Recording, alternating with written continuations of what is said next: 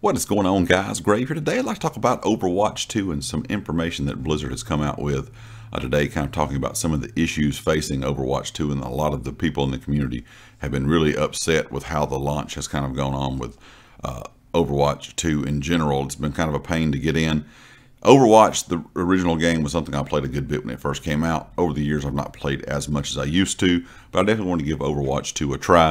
And I'm going to have a video later down the road talking about kind of how I feel about the game or kind of my thoughts on it just in general. But today, I mainly want to talk about a lot of the issues that Blizzard did address today. And of course, to start off with, a lot of players are having problems with getting in the game. So you're having problems with connection, uh, you know, troubles with accounts, people trying to get in the game and being in a long queue. Then the game was DDoS attacked the first day it came out, so it caused even more problems. Also, a lot of people have had some problems with trying to get their account to kind of merge so they can get all their stuff from Overwatch 1 so you can have all your skins and things like that. And that was one of the biggest issues I had. I could not get the merge button to work on PS5. Finally, after this update last night, I did actually get to uh, this to work today. All my stuff has merged. Everything is there now. So that's kind of been ha handled. But Blizzard acknowledged many of the issues facing, you know, kind of what the players have seen in the last few days. And they talked about how their update that they put out late last night or late yesterday evening, early this morning for some, uh, kind of working on issues uh, for merging and some other problems, you know, people have been seeing in the game. Uh, so they should actually have all their full collections now for everything they had from the original Overwatch if you did play it.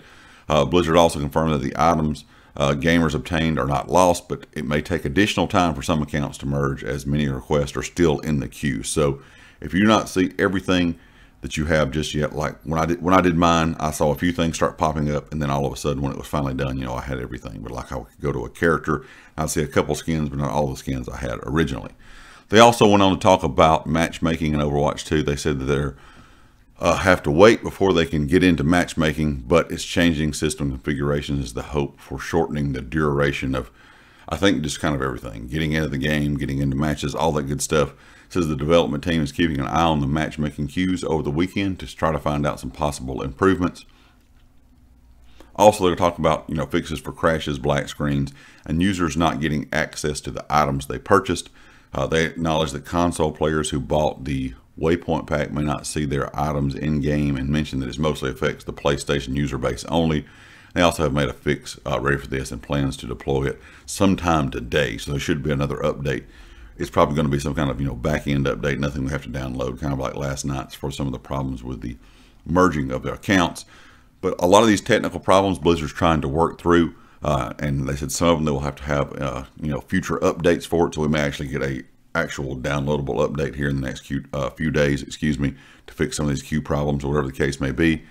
It is a enjoyable game when you get in. It's very frustrating though because it's hard to get in the game. Uh, the first few days it was out, I pretty much just gave up because sometimes I would log in, get on the screen, and it would be like 90,000 to 100,000 players in the queue. I'm definitely not going to sit there and wait on that. It would be all night and probably still wouldn't get in.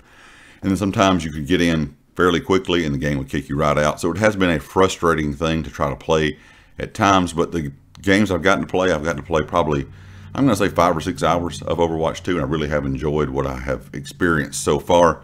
Of course, it's going to take a lot more playtime to really see how the game works and how everything's going to play out in the future with all these issues that we are having right now. Hopefully, Blizzard can get these fixed. But I want to make kind of this video for a quick update to let everyone know about exactly what Blizzard was talking about today and kind of what they fixed overnight last night and what they're planning on fixing later on today.